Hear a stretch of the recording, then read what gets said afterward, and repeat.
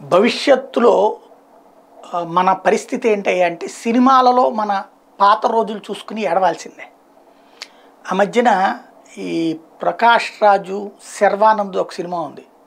పేరు గుర్తుకు రావట్లేదు కానీ కుటుంబ బంధాలు ఎక్కడో ఉన్న ఎన్ఆర్ఐలుగా విదేశాల్లో ఉంటున్నటువంటి పిల్లలందరినీ ఇళ్ళకి తీసుకుని వస్తే ఆ టైంలో వాళ్ళు వాళ్ళలో వాళ్ళు గొడవ పడతా తొందరగా వెళ్ళిపోవడానికి ప్రయత్నిస్తుంటే ఆ తండ్రి ఆవేదన ఆ తల్లి బాధ జయసుధ పోషే ఫీలింగు ఇదంతా కూడా.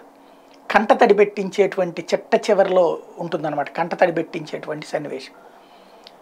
చాలా హృదయంగా అనిపించింది. మళ్ళీ అలాంటిది బలగం తెలంగాణ ప్రజల్లో అద్భుతమైనటువంటి కాన్సెప్ట్ అయింది. ప్రజలందరూ కంట తడిపెడుతున్నటువంటి పరిస్థితి. పల్లె ప్రాంతాలలో అమెజాన్లోనో దీంట్లో ఓటీటీ ప్లాట్ఫామ్లో వచ్చిన దాన్ని ప్లే చేసుకుని చూస్తున్నటువంటి పరిస్థితి. దానికి అట్లెట్లా ప్లే చేస్తారు? ఇది మాకు నష్టం కదా అంటూ దిల్ రాజు అన్నాడు. అట్లాగే దాని మీద చర్య తీసుకోమని కోరుతున్నాడు అంటూ వార్తలు వస్తే అబ్బెబ్బే అట్లా కాదు ఇది అందరూ చూడాలని మేము కోరుకుంటున్నాం. మేమేం డబ్బులు వసూలు చేయాలనుకోవట్లేదు ఇంకా మేమే వేస్తాం. ఏ ఊరికన్నా కనుక లేకపోతే చెప్పండి మేము వచ్చి ఫ్రీగా వేస్తామని చెప్తున్నాడు ఆయన. సోషల్ మీడియాలో కొద్దిమంది ఆయన నిందిస్తున్నటువంటి వేళ ఒకప్పుడు వంద రోజులు రెండు వందల రోజులు సంవత్సరాలు ఆడే సినిమాలు ఇటు దగ్గర నుంచి ఇప్పుడు ప్రతి ఒక్కళ్ళు కావాలని వేయించుకుంటున్నటువంటి వేళన నాకు ఫోన్ చేస్తే మీ ఊళ్ళో నేనే వచ్చి సినిమా వేస్తానంటూ దిల్రాజ్ చెప్పినటువంటి మాట అందరినీ కూడా కదిలించింది. దిల్రాజు పట్ల అందరూ అభిమానం ప్రదర్శిస్తున్నారు.